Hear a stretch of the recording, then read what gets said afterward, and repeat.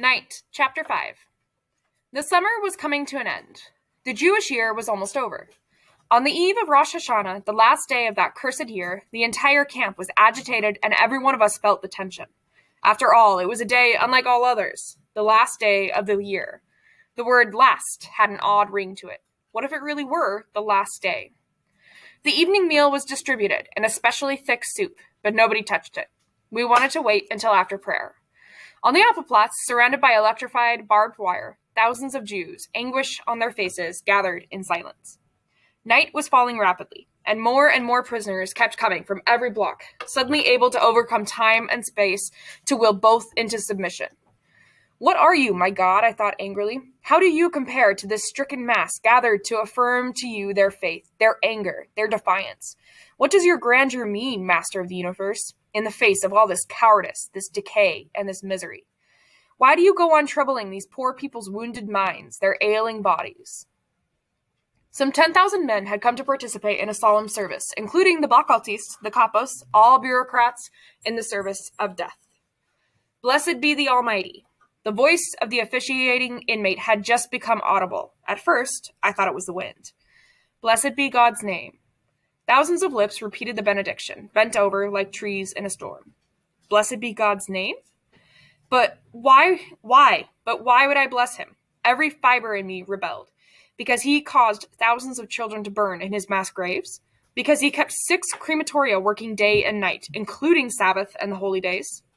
Because in his great might he had created Auschwitz, Birkenau, Buna, and so many other factories of death? How could I say to him, Blessed be thou, Almighty, Master of the universe, who chose us among all nations to be tortured day and night, to watch as our fathers, our mothers, our brothers end up in the furnaces? Praised be thy holy name for having chosen us to be slaughtered on thine altar. I listened to the, as the inmate's voice rose.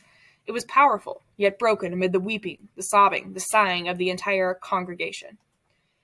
All the earth and universe are God's. He kept pausing, as though he lacked the strength to uncover the meaning beneath the text. The melody was stifled in his throat. And I, the former mystic, was thinking, Yes, man is stronger, greater than God. When Adam and Eve deceived you, you chased, chased them from paradise. When you were displeased by Noah's generation, you brought down the flood. When Sodom lost your favor, you caused the heavens to rain down fire and damnation. But look at these men whom you have betrayed, allowing them to be tortured, slaughtered, gassed, and burned. What do they do? They pray before you, they praise your name. All of creation bears witness to the greatness of God. In days gone by, Rosh Hashanah had dominated my life. I knew that my sins grieved the Almighty, and so I pleaded for forgiveness. In those days, I fully believed that the salvation of the world depended on every one of my deeds, on every one of my prayers. But now, I no longer pleaded for anything. I was no longer able to lament. On the contrary, I felt very strong. I was the accuser, God the accused. My eyes had opened and I was alone, terribly alone, in a world without God, without man, without love or mercy. I was nothing but ashes now, but I felt myself to be stronger than this Almighty to whom my life had been bound for so long. In the midst of these men assembled for prayer, I felt like an observer, a stranger. The service ended with the Kaddish, each of us recited Kaddish for his parents, for his children, and for himself. We remained standing in the Appelplatz for a long time, unable to detach ourselves from this surreal moment. Then came the time to go to sleep, and slowly the inmates returned to their blocks. I thought I heard them wishing each other a happy new year. I ran to look for my father. At the same time, I was afraid of having to wish him a happy year in which I no longer believed. He was leaning against the wall, bent shoulders sagging as if under a heavy load. I went up to him, took his hand, and kissed it. I felt a tear on my hand. Whose was it? Mine? His? I said nothing, nor did he. Never before had we understood each other so clearly. The sound of the bell brought us back to reality. We had to go to bed. We came back from very far away. I looked up at my father's face, trying to glimpse a smile or something like it on his stricken face. But there was nothing. Not the shadow of an expression. Defeat. Yom Kippur, the Day of Atonement. Should we fast? The question was hotly debated. To fast could mean a more certain, more rapid death. In this place, we were always fasting. It was Yom Kippur year round. But there were those who said we should fast, precisely, precisely because it was dangerous to do so. We needed to show God that even here, locked in hell, we were capable of singing his praises. I did not fast. First of all, to please my father, who had forbidden me to do so. And then there was no longer any reason for me to fast. I no longer accepted God's silence. As I swallowed my ration of soup, I turned that, that act into a symbol of rebellion, a protest against him. And I nibbled on my crust of bread. Deep inside me, I felt a great void opening. The SS offered us a beautiful present for the new year. We had just returned from work. As soon as we passed the camp's entrance, we scented something out of the ordinary in the air. The roll call was shorter than usual. The evening soup was distributed at great speed, swallowed as quickly. We were anxious. I was no longer in the same block as my father. They transferred me to another commando, the construction one, where 12 hours a day I called heavy slabs of stone. The head of my new block was a German Jew, small, with piercing eyes. That evening, he announced to us that henceforth no one was allowed to leave the block after the evening soup. A terrible word began to circulate soon thereafter selection. We knew what it meant. An SS would examine us. Whenever he found someone extremely frail, a Mussulman was what we called those inmates, he would write down his number, good for the crematorium. After the soup, we gathered between the bunks. The veterans told us, You're lucky to have been brought here so late. Today, this is paradise compared to what, camp- what the camp was two years ago. Back then, Buna was a veritable hell. No water, no blankets, less soup and bread. At night, we slept almost naked and the temperature was 30 below. We were collecting corpses by the hundreds every day. Work was very hard. Today, this is a little paradise. The capos back then had orders to kill a certain number of prisoners every day, and every week, selection. A merciless selection. Yes, you are lucky. Enough! Be quiet, I begged them. Tell your stories tomorrow or some other day. They burst out laughing. They were not veterans for nothing. Are you scared? We too were scared, and at that time, for good reason. The old men stayed in their corner, silent, motionless, hunted down creatures. Some were praying. One more hour. Then we would know the verdict death or reprieve. And my father? I first thought of him now. How would he pass selection? He had aged so much.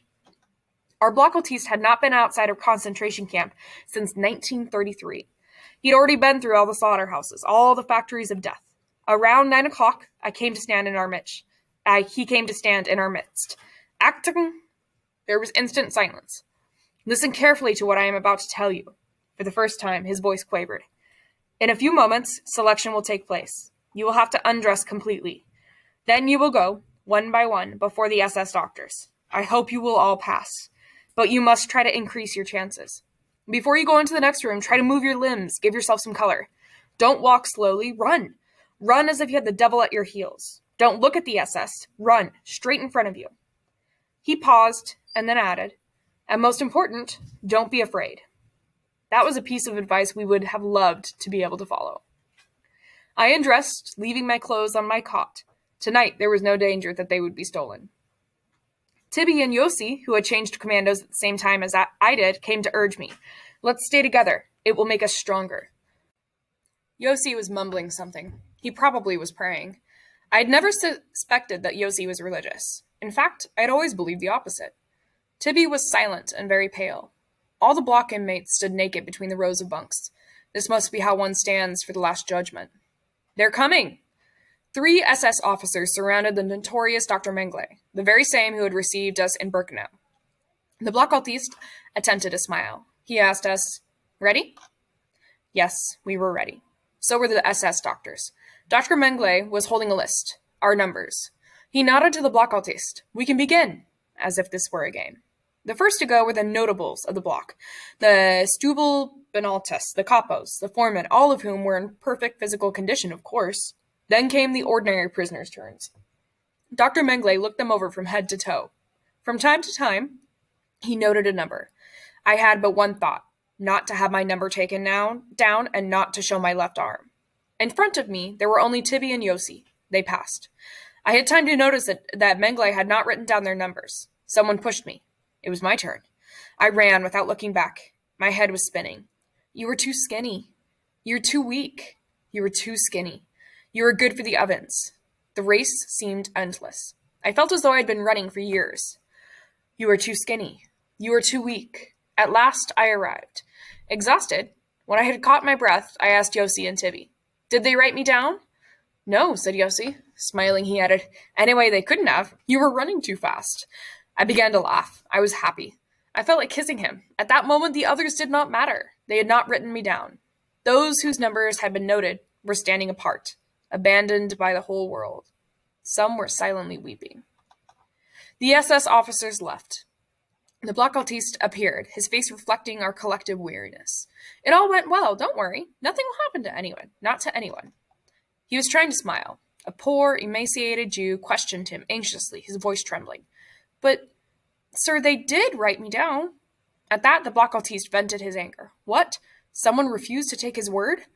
What is it now? Perhaps you think I'm lying? I'm telling you, once and for all, nothing will happen to you. Nothing. You just like to wallow in your despair, you fools. The bell rang, signaling that, our, that the selection had ended in the entire camp. With all my strength, I began to race toward Block 36. Midway, I met my father. He came toward me. So, did you pass? Yes. And you? Also.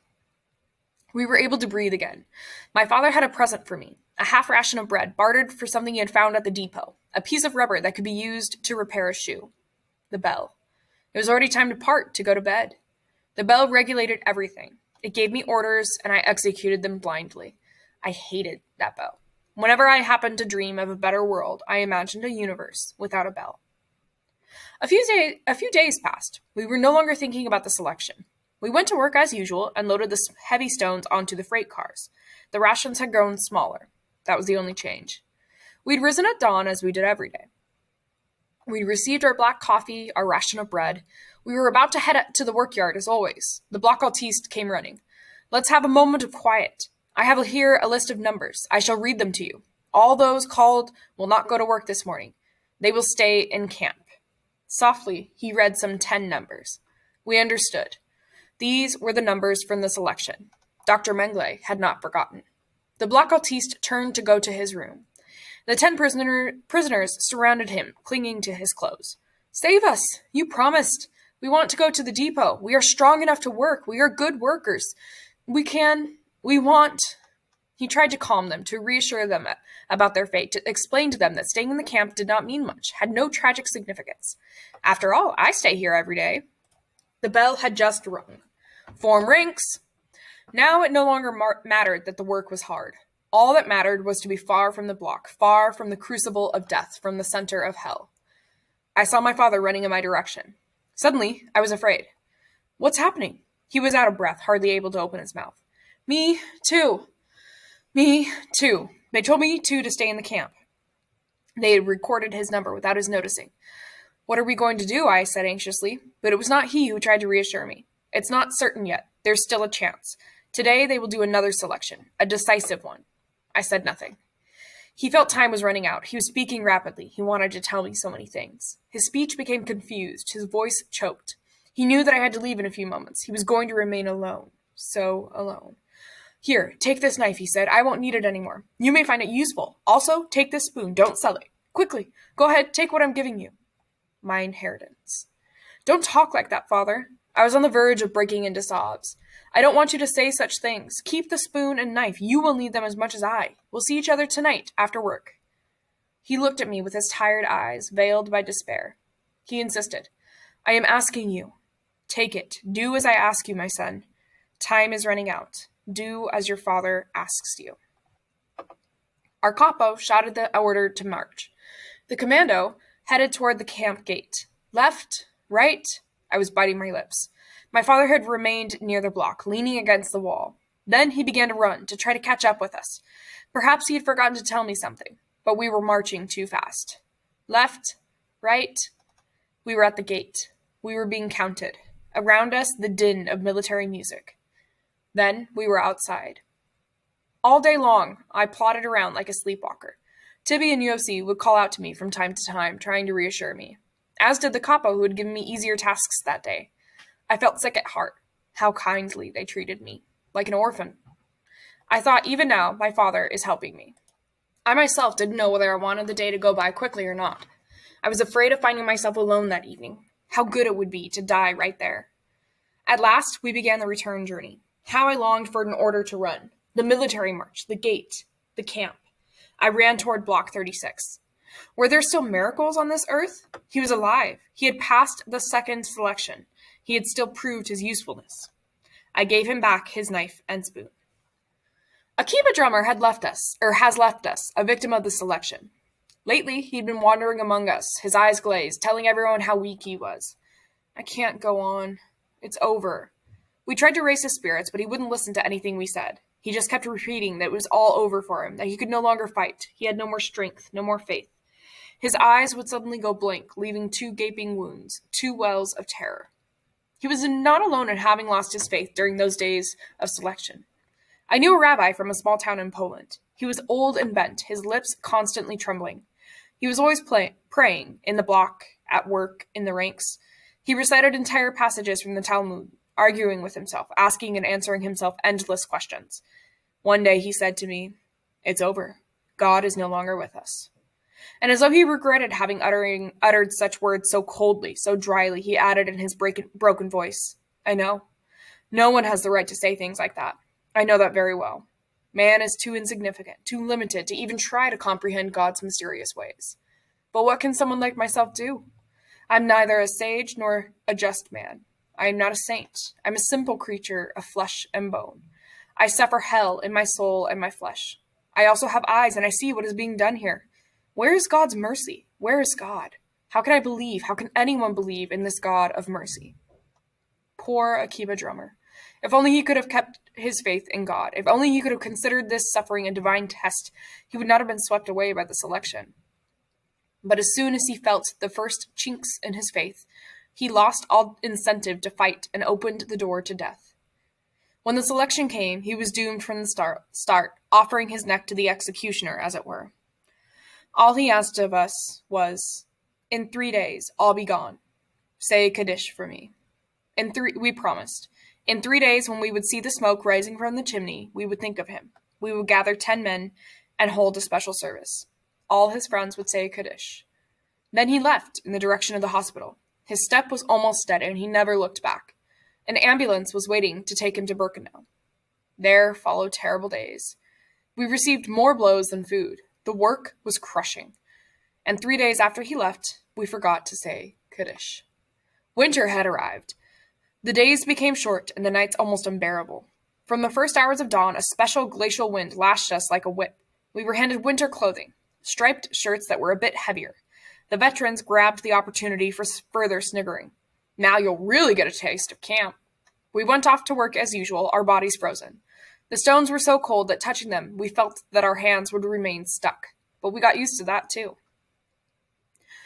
Christmas and New Year's we did not work. We were treated to a slightly less transparent soup.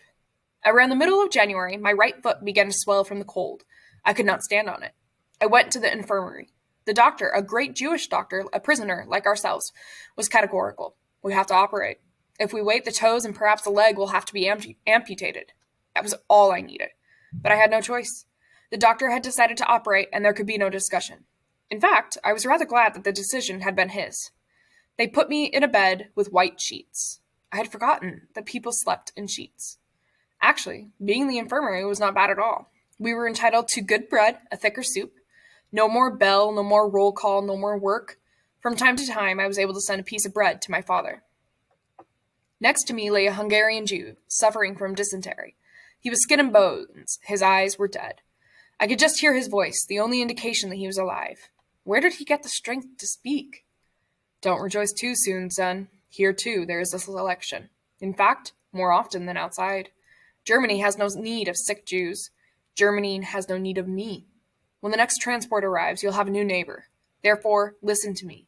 Leave the infirmary before the next selection. These words, coming from the grave, as it were, from a faceless shape, filled me with terror. True, the infirmary was small, and if new patients were to arrive, room would have to be made. But then, perhaps my faceless neighbor, afraid of being among the first displaced, simply wanted to get rid of me, to free my bed, to give himself a chance to survive. Perhaps he only wanted to frighten me. But then again, what if he was telling the truth? I decided to wait and see. The doctor came to tell me that he would operate the next day. Don't be afraid, he said. Everything will be all right. At 10 o'clock in the morning, I was taken to the operating room. My doctor was there. That reassured me. I felt that in his presence nothing serious could happen to me. Every one of his words was healing, and every glance of his carried a message of hope. It will hurt a little, he said, but it will pass. Be brave. The operation lasted one hour. They did not put me to sleep. I did not take my eyes off the doctor. Then I felt myself sink. When I came to and opened my eyes, I first saw nothing but a huge expanse of white, my sheets. Then I saw the doctor's face above me. Everything went well. You have spunk, my boy. Next, you'll stay here two weeks for some proper rest, and that will be it. You'll eat well, you'll relax, and your nerves. All I could do was follow the movements of his lips. I barely understood what he was telling me, but the inflection of his voice soothed me. Suddenly, I broke into a cold sweat. I couldn't feel my leg. Had they amputated it? Doctor, I stammered. Doctor, what is it, son? I didn't have the courage to ask him. Doctor, I'm I'm thirsty. He had water brought to me. He was smiling.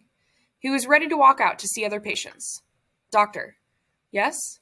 Will I be able to use my leg?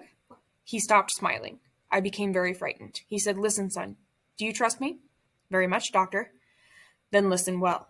In two weeks, you'll be fully recovered. You'll be able to walk like the others. The sole of your foot was full of pus. I just had to open the sack.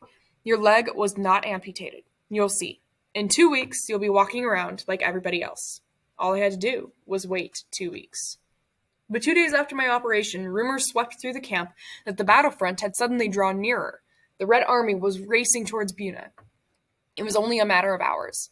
We were quite used to this kind of rumor. It wasn't the first time that false prophets, prophets announced to us, Peace in the world, the Red Cross negotiating our liberation, or other fables, and often we would believe them. It was like an injection of morphine. Only this time these prophecies seemed more founded. During the last nights we had heard the cannons in the distance. My faceless neighbors spoke up. Don't be deluded. Hitler has made it clear that he will annihilate all Jews before the clock strikes 12. I exploded. What do you care what he said? Would you want us to consider him a prophet? His cold eyes stared at me. At last, he said wearily, I have more faith in Hitler than in anyone else. He alone has kept his promises, all his promises, to the Jewish people. That afternoon at four o'clock, as usual, the bell called all the Blockältesten for their daily report. They came back shattered. They had difficulty opening their mouths. All they could utter was one word evacuation. The camp was going to be emptied, and we would be sent to the rear. Where to? Somewhere in deepest Germany, to other camps. There was no shortage of them. When? Tomorrow night. Perhaps the Russians will arrive before. Perhaps. We knew perfectly well they would not. The camp had become a hive of activity. People were running, calling to one another. In every block, the inmates prepared for the journey ahead. I had forgotten about my lame foot. A doctor came into the room and announced, Tomorrow, right after nightfall, the camp will start on its march, block by block. The sick can return er, can remain in the infirmary. They will not be evacuated. That news made us wonder. Were the SS really going to leave hundreds of prisoners behind in the infirmaries pending the arrival of their liberators? Were they really going to allow Jews to, to hear the clock strike 12? Of course not. All the patients will be finished off on the spot, said the faceless one, and in one last swoop thrown into the furnaces. Surely the camp will be mined, said another. Right after the evacuation, it'll all blow up. As for me, I was not thinking about death, but about not wanting to be separated from my father. We had already suffered so much, endured so much together. This was not the moment to separate. I ran outside to look for him. The snow was piled high, the block's windows veiled in frost. Holding a shoe in my hand, for I could not put it on my right foot, I ran, feeling neither pain nor cold. What are we going to do? My father did not answer. What are we going to do? He was lost in thought. The choice was in our hands. For once, we could decide our fate for ourselves. To stay, both of us, in the infirmary where, thanks to my doctor, he would either he could enter as either a patient or a medic. I had made up my mind to accompany my father wherever he went. Well, father, what do we do? He was silent. Let's be evacuated with the others. He didn't answer. He was looking at my foot. You think you'll be able to walk? Yes, I think so. Let's hope we won't regret it, Eliezer. After the war, I learned the fate of those who had remained at the infirmary. They were, quite simply, liberated by the Russians two days after the evacuation. I did not return to the infirmary. I went straight to my block. My wound had reopened and was bleeding. The snow under my foot turned red.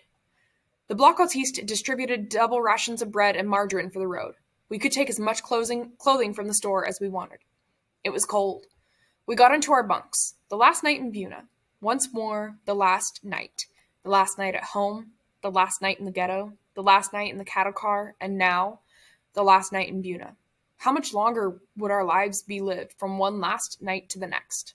I didn't sleep. Through the frosty window panes, we could see flashes of red. Cannon shots broke the silence of night. How close the Russians were! Between them and us, one night, our last. There was whispering from one bunk to the other, with a little luck. The Russians would be here before the evacuation. Hope was still alive.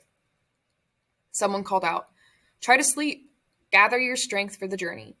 It reminded me of my mother's last recommendations in the ghetto, but I couldn't fall asleep. My foot was on fire. In the morning, the camp did not look the same.